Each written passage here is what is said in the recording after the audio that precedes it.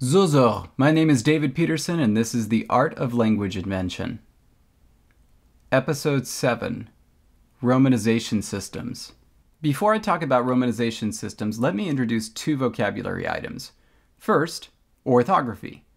Orthography is the writing system and spelling conventions used by a group of speakers to write their language. Romanization, on the other hand, is a transliteration system using the Roman alphabet.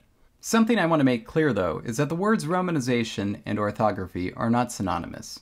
Every so often, the romanization or the instantiation of, a, of the Roman alphabet of a language will be its orthography. For example, the romanization of uh, English, uh, French, Romanian, German, uh, Albanian, those are all their orthographies. But this, for example, is the Japanese orthography. Here is that same sentence, though, in a romanization system. This romanization system, though, is not Japanese's orthography.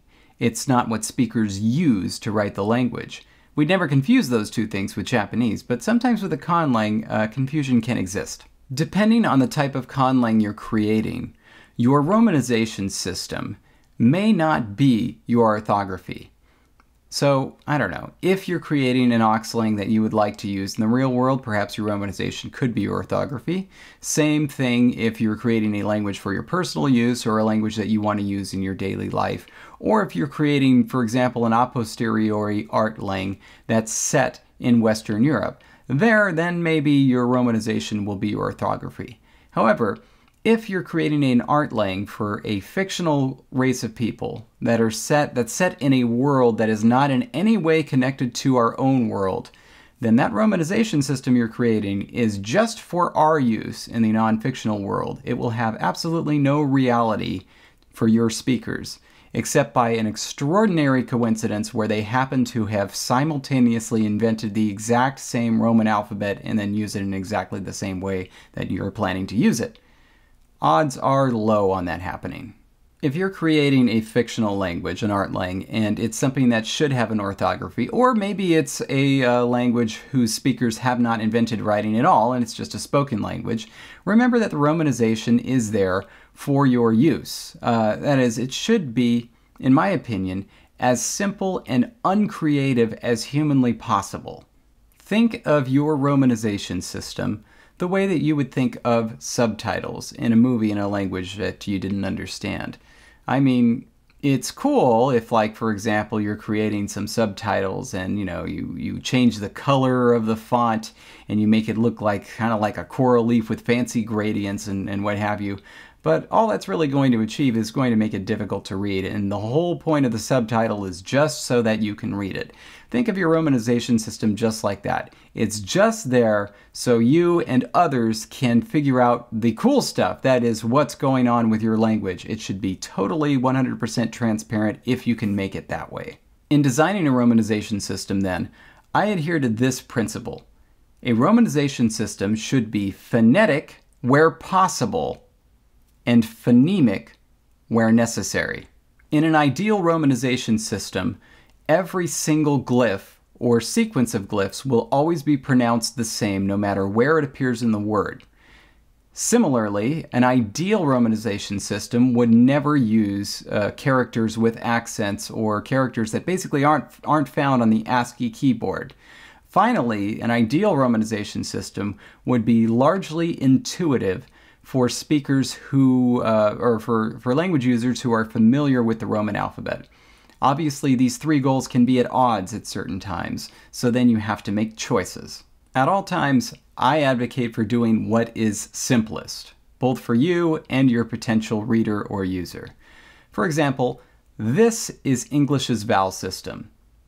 Look at that, just a mess of vowels. Yet we do fine representing these vowels with just these six graphemes, plus some extra consonants that jump that jumble things up. I mean, I know that's kind of kooky, but of course, uh, this is an orthography, not a romanization system. That is, there are historical reasons that this orthography is that way. It doesn't need to be that way when you're creating your romanization system just for your own use. And in fact, if you wanted to, you could represent English's vowels even more simply. For example, this way. This is, I think, from my uh, Petersonian English alphabet that I did years ago. Uh, I mean, It's, uh, you know, you may not like it, but uh, that does the job. Also, here is the full vocalic inventory of Dothraki. Look at all those bizarre, crazy vowels. But the way that we represent it is just with these four graphemes. That really does the trick. The reason, though, is that a lot of what you see here is just the result of simple allophonic variation. So, for example, after uh, uvular consonants, there's just one. You see the following vocalic alternations where you have these cardinal vowels uh, becoming a bit more essentially uvularized or back. And then after, uh, after dental consonants, rounded vowels, there's only one of them, unround. So that's all that you see that's happening there. So rather than spelling them differently for each instantiation, for each different phonetic variant, uh, it makes much more sense just to use the phonemic vowel there. Sometimes the Roman alphabet fails you and you really need to do something different. For example, something common is for a language to have a series of retroflex consonants that contrast with a series of either alveolar or dental consonants. If it was just one of those, you could just use T or D. So for example, if you only had a retroflex T and a retroflex D, you didn't have a dental or an alveolar, you could just use regular T and D for that and just make a note of it in the pronunciation. If you have to distinguish the two though, that's when you either have to jump to use a separate character or use a digraph. So for example, uh, a great one for retroflexes is just put an R before the consonant. If you never have a situation where you have a retroflex consonant preceded by R, um, that contrasts with a retroflex consonant preceded, I'm sorry, a non-retroflex consonant preceded by R, and then each of those in isolation, then you can get away with something like this fairly easily. If you decide ultimately that you're going to have to use a different set of characters for your romanization system, there's something I want you to keep in mind. Obviously, it's going to take extra effort to type these special characters, and it's going to require extra effort on the part of your readers to figure out what they are, and how they're pronounced. So, something that I think you should ask yourself is it buying you anything not to simply use IPA? That is, forget about the romanization system and just type in a broad transcription using IPA symbols. After all, then you don't have to explain why something is pronounced the way it is. You could just say, look it up in the IPA. Um, you know, because if you're going to have to install an entirely new keyboard layout just to type some fancy character for like an unrounded back, nasalized, overlong, whispered, creaky voice vowel, then really, I mean, what's the point? You might as well just come up with some convention using IPA characters and just transcribe it then you know people will be able to know exactly how it's pronounced just by looking at it, provided that they learn IPA.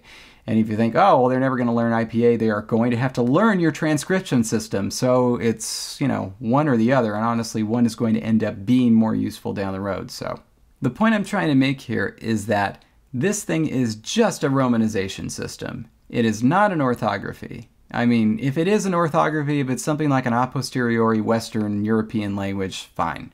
But if it's just for you and your readers or viewers or users to figure out exactly how something is pronounced, I mean, don't put creative energy into that. It should be a matter of seconds deciding exactly how each phoneme is going to be spelled in this romanization system put all your creative work into the actual creation of the language or into creating the orthography. That is, what the writing system is going to be like, what writing implements they're going to use, what they're going to write on, how the system will have evolved over the years, how that will have affected spelling, and things like that.